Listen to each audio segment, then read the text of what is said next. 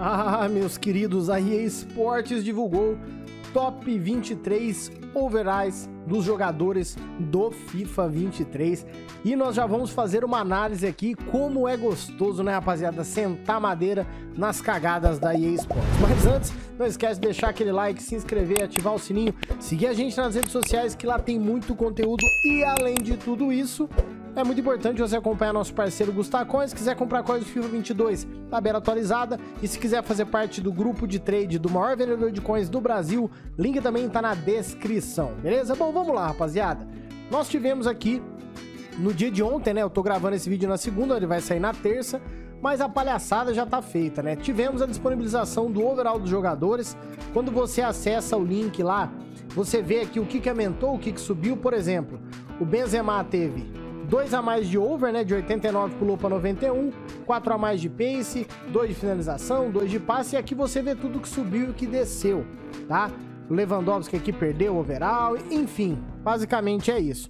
E assim, o que eu acho que é a maior palhaçada do mundo são alguns atributos, né? Então você olha aqui, por exemplo, o Van Dijk. O Van Dijk ganhou 3 de pace e o Cristiano Ronaldo, olha o Ronaldo, o Cristiano Ronaldo perdeu 6 de pace. Ah, Hash, mas ele tá mais lento. Pô, rapaziada, vocês acham que se botar ele para correr com o Van Dijk, o Van Dijk vai chegar junto? Pô, tá de sacanagem, né? Eu sei que existe uma diferença entre os atributos, né? Que tem a ver ali com aceleração, ó, ele tem o pique bom.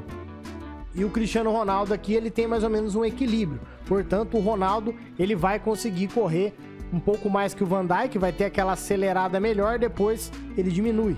Beleza? Fechou. Mas aí nós temos aqui o Ronaldo com 5 de fintas, 4 de pé ruim. Pra mim tá errado, tá? Nós temos aqui ah, alguns jogadores como o Neymar, por exemplo, um baita de um downgrade. Né? O Neymar perdeu 4 de pace, perdeu 1 de passe, perdeu 1 de drible, perdeu 2 de físico, né?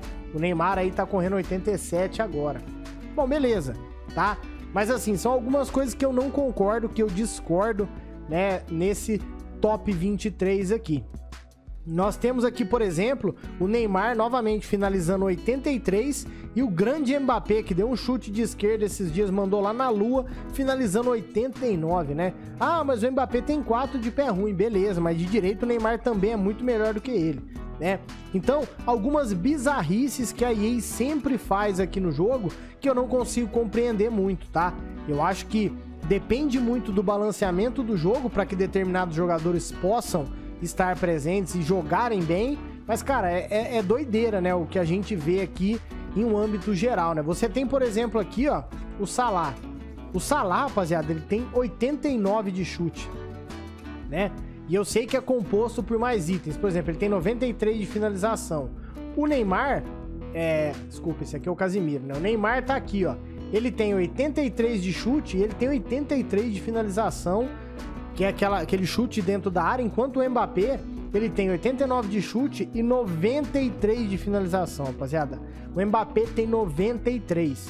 Tá? Só para vocês terem um overview, o Benzema é 92. Quem finaliza melhor, Benzema ou Mbappé? E o Lewandowski 94, que obviamente ele tem que ser melhor, um bilhão de vezes melhor que o Mbappé para finalizar. Óbvio, o Mbappé é capa do jogo. Mas assim, se a gente for destrinchar e analisar todas essas stats, é um absurdo, né, rapaziada? É um absurdo. O Neymar, por exemplo, tem 81 de chute de longe. O Mbappé tem 82, tá? Fala para mim que chapada, que chute de fora da área bacana que o Mbappé já fez um golaço. Então, assim, são coisas que, infelizmente, rapaziada, é, não entram na minha cabeça. Acho que o Benzema mereceu esse upgrade, até porque o Benzema é, provavelmente aí mesmo com esse adiamento do prêmio de melhor do mundo, que vai levar em conta a Copa, eu acredito que o Benzema vai ser o melhor do mundo, até pelos números e pela temporada e títulos no Real Madrid. Por isso ele teve esse upgrade no overall, né? E agora ele bate aí o top 5 junto com o Lewandowski, Mbappé, o De Bruyne e o Messi. Mas, né, algumas coisas aí eu discordo bastante, né? Tivemos aí o, o, o Marquinhos, que teve um só de upgrade, beleza. O Tony Cross se manteve, o Haaland se manteve, o Oblak perdeu dois de overall, né? Até um pouco pela idade. O Kanté perdeu um, o Ederson manteve, o Harry Kane perdeu um, não fez uma temporada assim tão boa. O Alisson manteve, o Casemiro manteve, o Kimmich manteve, Mané e Sonaldo também mantiveram. O Neymar perdeu dois. Puta injustiça. Apesar dele não ter feito uma temporada tão absurda, se a dele não foi boa, a do Messi foi muito pior. Porém, como o Messi tinha um over alto, né, ele perdeu duas e ainda ficou ali no 91. Então, até que essa comparação ok. Courtois ganhou uma, fez uma baita temporada, foi muito bem nas finais ali com o Real Madrid. Ronaldo perdeu um, acho justo. Foi bem, individualmente, mas se você analisar como um todo, ele não foi tão bem assim como ele era, mas eu acho que é muito exagerado esse downgrade. O Van Dijk, não vejo ele, ele fazendo uma temporada tão boa assim para ganhar upgrade, mas a EA gosta do Van Dijk, a EA gosta do Salah, que também ganhou. Aí o Messi perdeu, ok, De Bruyne manteve, beleza, Mbappé, beleza.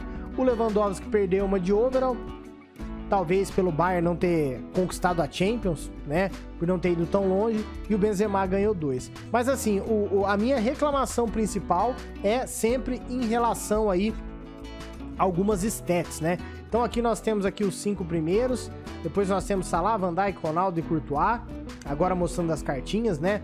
Neuer, Neymar, Son e Mané, depois nós temos Kimmich, Casimiro, Alisson e Harry Kane. 68 de pace pro Kane, meu amigo, que carreta.